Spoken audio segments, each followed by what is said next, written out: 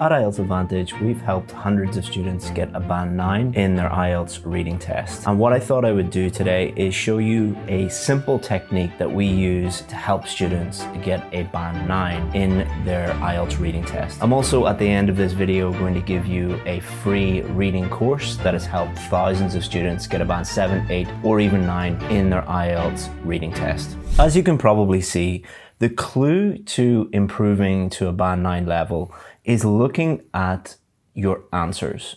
Um, so every IELTS reading test looks the same. It has three sections, section one, section two, and section three. And then it will ask you a range of different types of questions.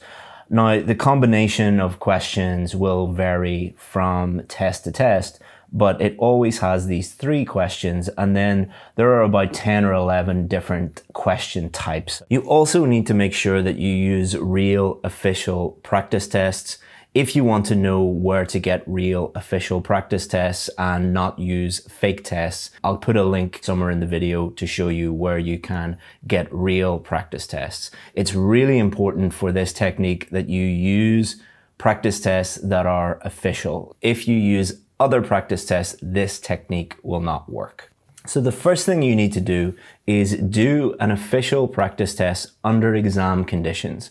That means a practice test that you've never used before. It is best if you do two or three of them. But for the purposes of this video, I'm just going to show you what we would do if a student did one. So what we would do with our student is we would get them to focus not on the questions that they got correct, but the questions that they got wrong.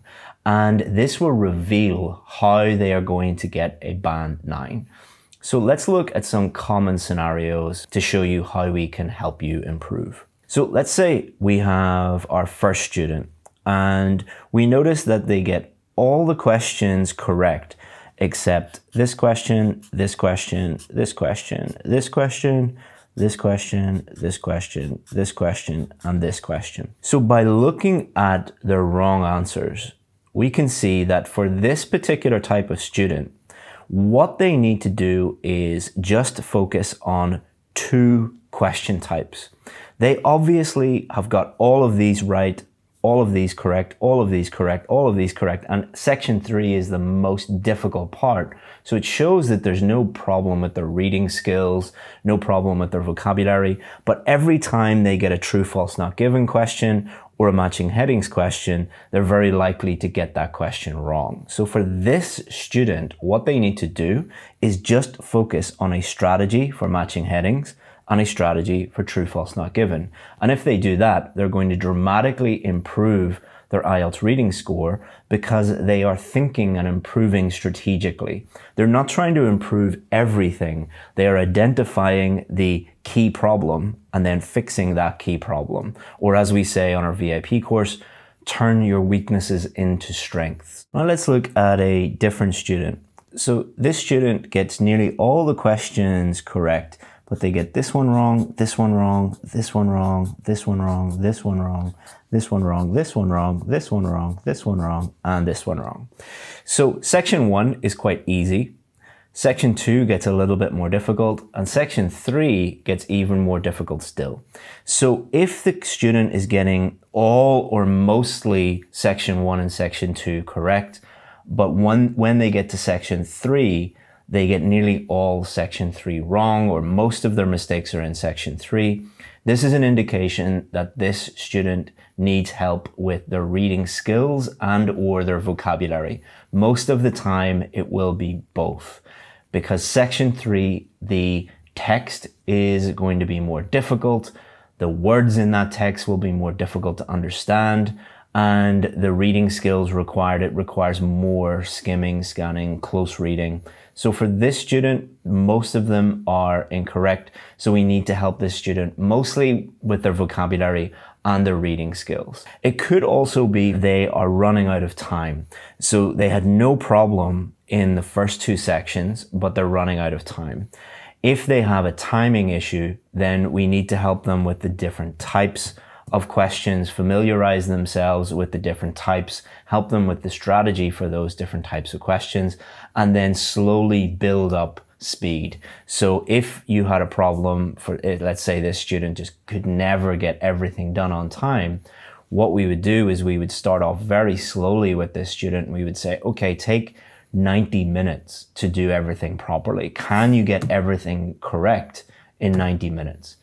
Let's say they do that, or they get nearly all of it correct in 90 minutes. Well, let's try it then in 80 minutes, and then 70, and then 60. So we're slowly building up speed, and that's how we would help that type of student. Now, let's say we're working with a student and they get this one wrong, and this one wrong, and this one wrong, and this one wrong, and this one wrong this one wrong, this one wrong, and this one wrong. So this is quite unusual because uh, this particular student only has problems when they actually have to write the word. And they had no problem actually getting the correct answer. They got the correct answer for all of these. They have no problem, therefore, with sentence completion or summary completion because they actually find the correct answer. However, this student spelt equipment wrong, concerns wrong. They had a problem with the spelling of procedure, injuries, sunlight, transpiration, and weight. So for this student, they do not need to work on strategy. They do not need to work on speed. They don't need to work on vocabulary or reading skills. They just need to work on spelling. So as you can see, each student is very, very different and we need to understand what their weakness is first, and then we attack that weakness. And spelling, there are different ways that we can help students with their spelling.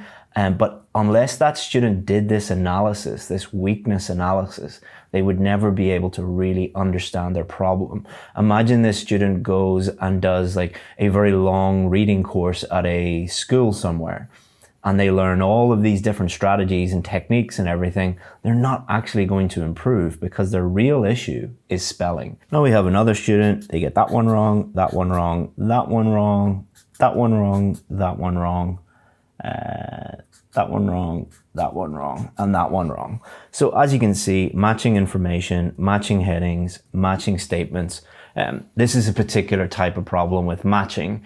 Each different type of question tests different reading subskills. So matching, one of the subskills that, that you need to learn for that is scanning. So scanning for the location of the correct answer. So with this student, often you'll hear people saying things like, oh, I just get lost and I run out of time. Well, really, it's not the student getting lost or losing focus or running out of time. It is just they really need to work on their ability to scan, or it might be a skimming issue, or it might be that whenever the question requires students to really read carefully and think deeply about the answer, they get those questions wrong. So they need to work on close reading. So to summarize, it is extremely rare for a student to just be bad at reading and just continuously get low reading scores. There is always a reason. What you need to do again is get official practice tests. Do at least one. Better to do two or three under exam conditions. And then do this analysis of your weaknesses and then turn those weaknesses into strengths. If you want to know how to do that in more detail, check the description. There is a free reading course that has helped thousands of people get the reading scores that they need. And if you need any other help, feel free to get in touch with us at IELTS Advantage. If you have any suggestions for further videos, any feedback, feel free to put them in the comments. Thank you very much, and I hope you enjoyed the video.